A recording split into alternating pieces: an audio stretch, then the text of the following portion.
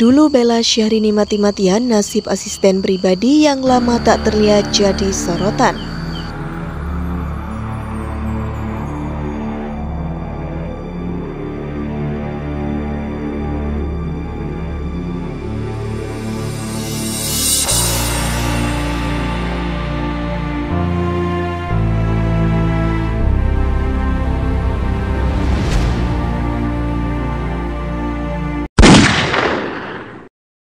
Dapur berita artis terkini.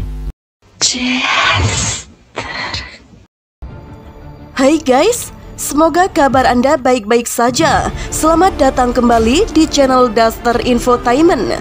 Terima kasih karena sudah memberikan support dan juga kesetiaan Anda untuk membangun channel ini. Sosok Ita dulunya selalu pasang badan dan loyal pada Syahrini sekeluarga. Lama tak terdengar kabarnya, terkuak aktivitas Ita di saat Syahrini sedang di Singapura bersama Reino. Syahrini dan Aisyah Rani diisukan sedang renggang baru-baru ini. Fans Syahrini sempat menyindir keras adik idola mereka terkait isu parasit. Fans Syahrini agaknya senang karena lebaran kali ini idola mereka memilih pergi bareng Reino Barak ke Singapura. Padahal biasanya Syahrini dan Reino merayakan lebaran di Indonesia bersama keluarga besar. Menanggapi rumor tersebut, Syahrini dan Aisyah Rani memilih bungkam. Di sisi lain, asisten pribadi Syahrini, Ita juga sempat jadi bahan perbincangan. Tak disangka-sangka Ita yang lama tak terlihat rupanya masih akrab dengan keluarga Syahrini. Dalam video yang beredar, Ita terciduk sedang joget TikTok bersama Aisyah Rani dan kakak ipar Aisyah Rani dan Syahrini Lala Nurlela. Ketiganya akrab bak besti di saat Syahrini dan Reino sedang berada di luar negeri. Namun bukan cuma itu, Ita juga sempat disentil netter saat sesi makan malam. Ia diduga merokok saat duduk agak jauh dari Aisyah Rani yang sedang hamil muda. Melihat video tersebut, netter sempat kepo soal nasib Ita saat ini. Pasalnya Syahrini sudah lama tak bekerja di dunia hiburan setelah menikah dengan Reino Barak.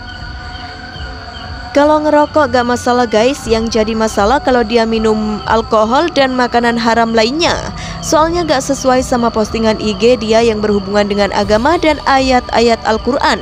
Tolong bude kurang-kurangin makan dan alkoholnya ya kata Neter Ita tuh sapanya sih tutur Neter Sekretaris Syahrini sekarang sekretaris petir Tebak Neter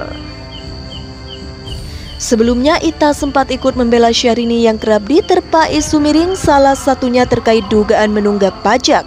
Enggak ada tuh kemarin kan Mbak Syahrini udah selesai pajak yang amnesti-amnesti itu, kata Ita. Baru-baru ini tapi kalau itu biasanya konsultan pajak kita biasanya yang urus, bukan cuma itu, Ita juga pasang badan ketika Syahrini disentil pria bule yang mengklaim sebagai ayah angkatnya.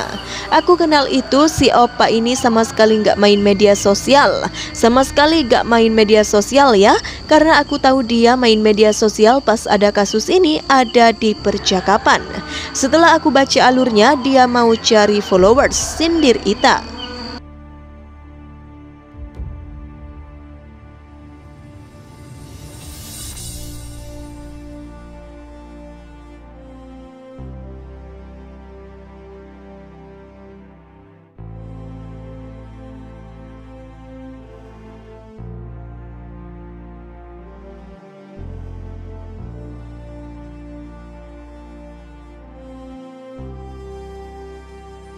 Wajah polos cuma kedok terkuak Syahrini diam-diam pernah jadi simpanan.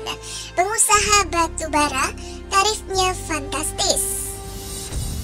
Baru-baru ini Syahrini kembali mencuri banyak pasang mata. Pasalnya berembus kencang isu miring soal hubungan gelap Syahrini Dengan pengusaha batu bara. Pelantun sesuatu itu disebut dapat pundi-pundi uang lantaran menjadi simpanan sang pengusaha Tarif wanita yang disapa Inces itu pun jadi ramai dibahas. Digadang-gadang ia bisa meraup satu miliar rupiah hanya dalam waktu sehari. Hal tersebut dibocorkan oleh Soima yang membeberkan fakta artis yang dibuking oleh pengusaha asal Kalimantan. Bude ndak tuh biasanya yang identik dengan Soima kan si Bude berinisial S kata Viola Virginia 11. Yang jelas Syahrini gue no basa-basi Kata Nikita Mirzani underscore 90 Dikutip dari Wow Keren namun istri Reino Barak itu pun dengan tegas membantah segala rumor soal hubungan gelapnya dengan pengusaha batubara asal Kalimantan berinisial Mr. H. Bantahan Syahrini itu pun seketika langsung dipatahkan paranormal Mbak Mijan. Saya tadi menyebutkan kalau Syahrini itu bukan pelakor. Saya tidak ngomong itu, tapi buat teman-teman lain yang mendapat predikat seorang pelakor, contohlah yang baik-baik seperti Syahrini. Kata Mbak Mijan di Jalan Kapten Petendian, Mampang Perapatan, Jakarta Selatan. Tidak perlu ngerusuin atau ngeribetin keluarga besarnya. Kalau memang ente teman-teman pelakor ini butuh duit ya ambil duitnya aja. Nggak perlu memiliki orangnya. Jadi Syahrini buat saya stop sambungnya.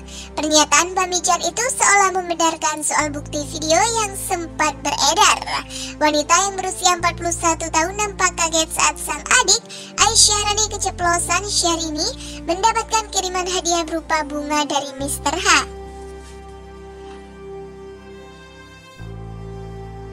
Ekspresi wajah Syahrini pun nampak menunjukkan kecurigaan dan tak wajar.